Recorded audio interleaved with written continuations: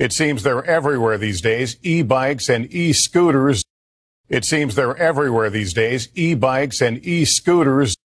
It seems they're everywhere these days, e-bikes and e-scooters zooming around city streets, zooming around city streets, zooming around city streets, zooming around city streets.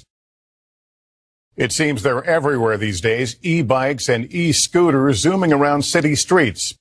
It seems they're everywhere these days, e-bikes and e-scooters zooming around city streets. But tonight, fire officials are sounding the alarm. But tonight, fire officials are sounding the alarm. But tonight, fire officials are sounding the alarm. But tonight, fire officials are sounding the alarm about the popular devices, about the popular devices, about the popular devices, about the popular devices because of the growing number of injuries linked to them because of the growing number of injuries linked to them, because of the growing number of injuries linked to them, because of the growing number of injuries linked to them, because of the growing number of injuries linked to them, because of the growing number of injuries linked to them.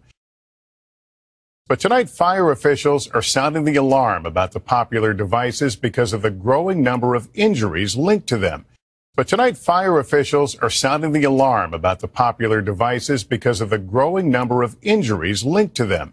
Here's Emily Ikeda. It's a staggeringly close call. It's a staggeringly close call. It's a staggeringly close call. It's a staggeringly close call. It's a staggeringly close call.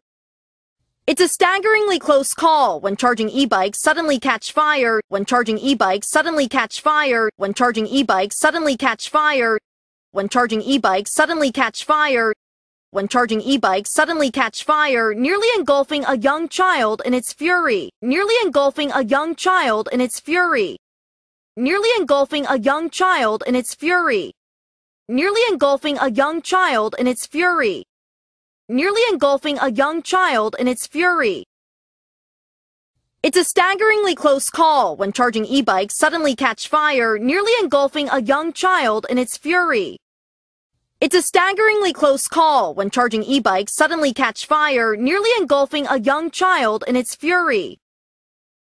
It seems they're everywhere these days, e-bikes and e-scooters zooming around city streets. But tonight, fire officials are sounding the alarm about the popular devices because of the growing number of injuries linked to them.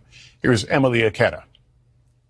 It's a staggeringly close call when charging e-bikes suddenly catch fire, nearly engulfing a young child in its fury.